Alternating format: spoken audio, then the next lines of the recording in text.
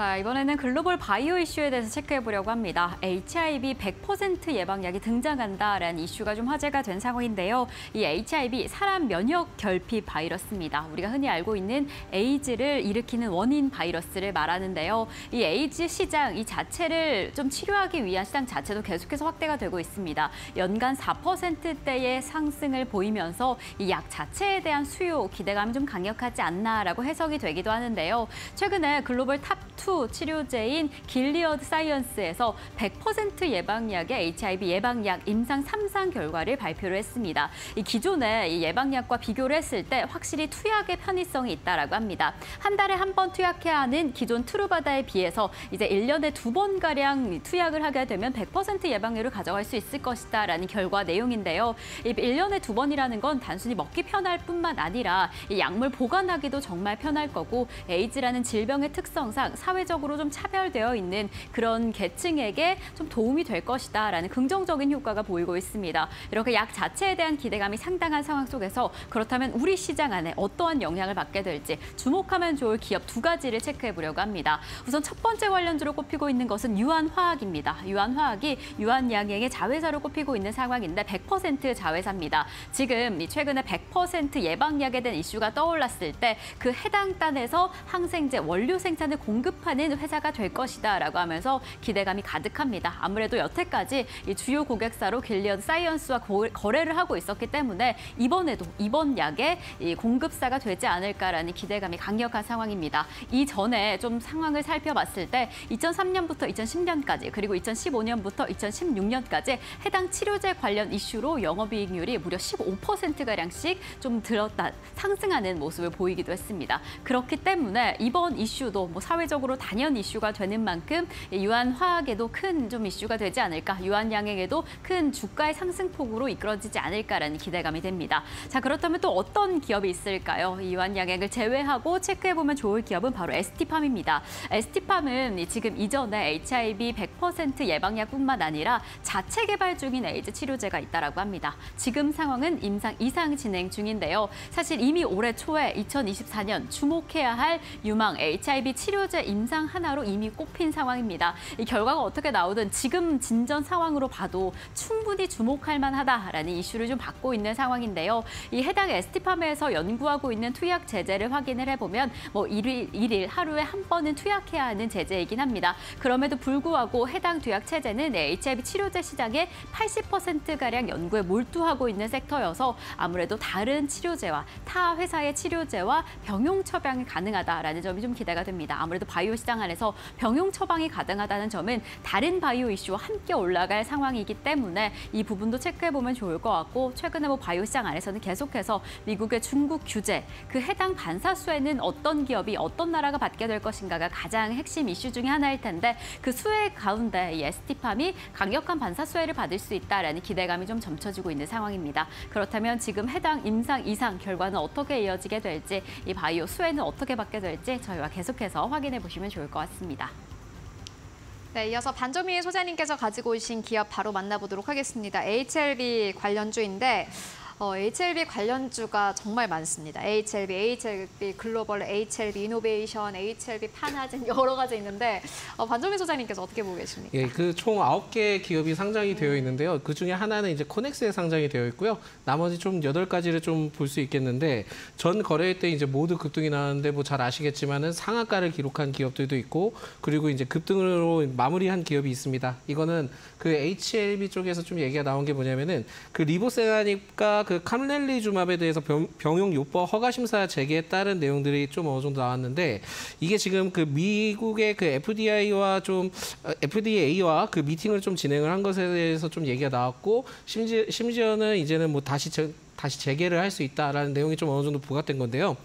여기에 좀 얘기를 좀 살펴본다면 재심사에 대해서 신청서를 제출할 것을 관력 뭐 강력히 권고한다라는 내용들이 좀 있기는 합니다. 근데 여기에 대한 입장을 좀 얘기를 한 거는 결국은 HLB 쪽에서 얘기를 한 거지 우리가 실질적으로 이게 내용이 명확한지는 모르겠다라는 거를 제 입장을 좀 먼저 말씀을 드리겠고 특히 이제 이번에 뭐 다시 제출을 하게 재심사를 하게 된다 하면은 글로벌 3상 때 최종 임상 결과 데이터를 포함을 한 것에 대해서 추가적으로 재심사에 대한 요청 서류와 함께 제출할 계획이라고 하는데 그렇게 되면은 최소 두 달부터 최대 6개월 정도 걸릴 겁니다. 그렇기 때문에 과, 최근에 그 5월 달 때 이제 주가가 HLB 그룹주들이 대폭 하락했었던 시점에 대해서는 일부 지금은 만회될 수 있다는 점도 좀 체크를 해보시면 좋을 것 같습니다. 그래서 오늘 그 HLB 제약과 HLB가 좀 크게 상승을 하고 있지만은 HLB의 경우에는 좀 더더 지금은 기존에 많이 떨어졌던 한 9만 2천 원까지는 아, 9만 원대까지는 한 번 더 상승할 수 있는 좀 시점이 아닌가라는 말씀을 드릴 수 있을 것 같고 여기에 대해서 기대감이 계속 좀 연출이 된다 한다면 추가 상승은 좀 가능할 수 있겠지만은 변동성에 대해서는 굉장히 좀 주의를 하셔야 될 것 같고요. 만약에 이제 변수가 발생된다 하면은 결국은 투자자들 이 기업에 투자를 하신 기, 그 투자자분들은 괴로움을 좀 더 더 경험을 하셔야 되기 때문에 무리하게 진입하시기보다는 일단은 지금 기존에 보유하셔서 좀 손실을 많이 보셨던 분들은 이 시점을 좀 잘 체크를 하셨다가 어느 정도 되면은 좀 비중 축소도 좀 해보시는 것도 낫지 않을까라는 말씀 드리겠고요. 무리한 기대에 대해서는 저는 그렇게 크게 기대를 하진 않습니다. 물론 잘 되면 좋긴 하겠지만 아직까지는 좀 결과가 나오지 않았고 회사 입장에 대해서 얘기가 나온 거기 때문에 저는 개인적으로 좀 더 더 팩트 체크가 필요하지 않을까라는 말씀- 말씀을 드리겠습니다. 이게 FDA와 보안 미팅을 한 건데 뭐 다 하지 않나요, 이게? 그렇죠. 어, 그죠. 어.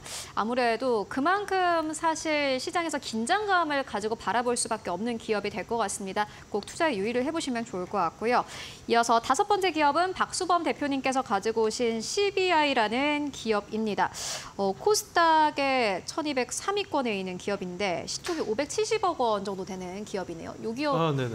어, 이거 왜 가지고 오셨을까요? 여기 오늘 제가 보통 보면 어, 중대형주들에 대해서 많이 좀 가지고 나오고 그에 대해 설명을 좀 많이 드리는 편인데 네. 어, 원래 제가 이쪽 업적 이쪽으로 이제 일을 할 때 처음에 네. 이제 스모켓 종목들에 대한 이제 분석을 좀 많이 했었, 했었습니다. 네. 그런 부분들에 있어서 뭐 저는 뭐 이렇게 좀 500억 정도의 기업들을 설명하는 거는 정말 오랜만인 것 같아요. 몇 년 만인 것 같은데 네. CBI가 그래도 좀 괜찮다라고 생각했는 게 CBI 하면 이제 잘 생각이 안 나시겠지만 어 과거에 이제 청보 산업이라는 회사입니다. 청보 산업이라는 회사고 이제 회사명이 좀 바뀐 상황인데 자 동사 같은 경우에 제가 가지고 나온 이유가 이제 텅스텐 때문에 가지고 나왔어요. 텅스텐 같은 경우에는 지금 이제 다이아몬드보다도 견고하고 그리고 어 에너지 밀도도 좀 높기 때문에 그렇다면은 이 소재를 이용해서 텅스텐 같은 경우에는 소재를 이용해서 우리가 2차 전지에도 쓸 수 있지 않나라는 어, 관심들이 좀 높아지고 있는 것 같습니다. 그래서 우리가 텅스텐 같은 경우에는 가운데 많이 매장되어 있죠. 어, 그런데 우리가 과거에도 이제 텅스텐을 광산을 개발해서 이제 취득을 하기도 했었는데 워낙 중국에서 텅스텐을 반- 거의 뭐 덤핑 형태로 이제 공급하다 보니까 그런 부분에 있어서 이제 광산을 폐쇄시키기도 했었죠. 근데 다시 한번 좀 주목을 받고 있습니다.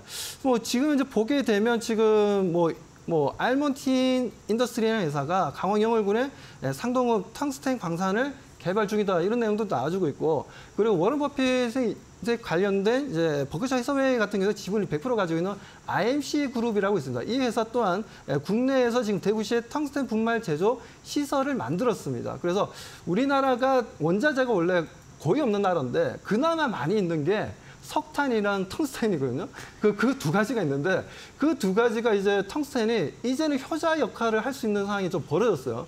어, 그렇다면 분명 CBI가 지금 이제 가지고 있는 텅스텐 관련된 광산을 또 가지고 있습니다. 이 회사가. 그렇다면 그 부분은 분명 동사의 주가 움직임에 상당히 좀 긍정적으로 역할을 할 것으로 보고 있고요. 지금 현재는 상당히 좀 500억 정도밖에 안 하는 시가총액을 보여주고 있지만 그래도 재무 상태가 그렇게 부정적이지는 않습니다. 자, 잠깐 재무 상태를 보게 되면요. 시가총액이 작다 보니까 투자자분들 입장에서는 좀 불안할 수는 있는데 자, 보게 되면 지금 현재 부채가 부채가 보게 되면 어, 지금 자, 자산이 지금 741억이에요. 그 중에서 지금 부채가 지금 288억입니다.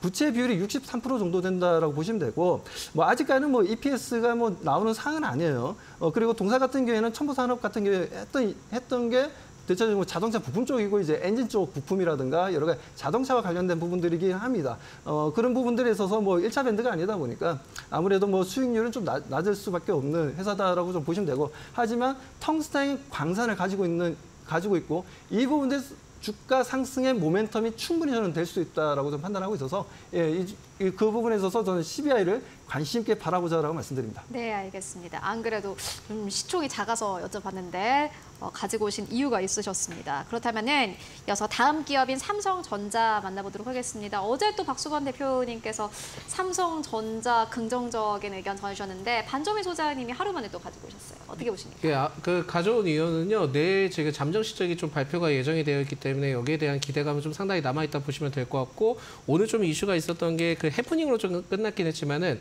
HBM3E에 대해서 뭐퀄 테스트 통과를 했다라는 그 보도가 나왔는데 이거에 대해서 뭐 사실이 아니었다 라고 좀 해명을 하긴 했지만은 가능성은 저는 좀 충분히 있다라고 생각이 들고 있습니다. 그래서 시간 싸움이라고 좀 생각이 들고 있고요. 여기에 대해서는 지금은 2분기 실적만 좀 주목을 해볼 필요가 있지 않을까라는 말씀드리는데 어, 6월에 그 반도체 수출이 134억 달러를 좀 기록을 했습니다. 근데 여기에 대해서 분위기를 봤고 또한 환율적인 내용들을 좀 체크를 했을 때는 어, 실적이 좀 더더 기대될 수 있다는 것을 좀 체크를 해볼 필요가 있을 것 같고 대부분의 이제 가이던스를 좀 제시를 했던 것들을 봤을 때는 어, 8조 한 2, 8조 에서 8조 한 6천억 정도 전망을 하더라고요. 그러다 보니까 여기에 대해서는 좀 어느 정도는 비슷할 가능성이 높긴 한데 전 개인적으로는 좀 더 더 높을 가능성도 생각을 하셔야 될 것 같습니다. 그렇기 때문에 전 분기보다는 지금은 좀 늘었다는 것에 대해서 포인트를 잡으실 필요는 있을 것 같고 여기에다가 만약에 엔비디아 관련된 내용들이 나와준다 하면은 삼성전자 분위기를 더 탈 수 있다라는 내용들을 어, 체크를 해보셔야 되는데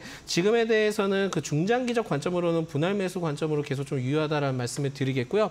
내일 뭐 실적이 좋지 않다 하더라도 일시적으로 빠진다 하면은 오히려 그게 타이밍이 될 수 있겠다는 말씀 드릴 수 있는 게 뭐냐면 지난달에 이제 삼성전자 임원이 자사주를 좀 매입을 했습니다. 이 자사주를 매입을 했다는 거는 6개월 동안 매도를 할 수가 없거든요. 근데 그만큼 이제 6개월 안에는 여러 가지 긍정적인 모멘텀들이든 아니면 주가가 더 이상 떨어질 가능성이 없다라고 생각을 하고 기대감을 좀 반영이 됐기 때문에 자사주를 매입을 하지 않았을까라는 관점을 좀 보고 접근을 해보시면 좋을 것 같습니다. 그래서 중장기적 관점으로는 좀 분할 매수로도 유효하다라는 말씀드립니다. 네, 알겠습니다. 삼성전자에 대해서는 계속해서 긍정적인 의견 나오고 있습니다. 참고해 보시면 좋을 것 같고요. 지금까지 박수범 대표 그리고潘정민 소장님과 함께했습니다. 고맙습니다.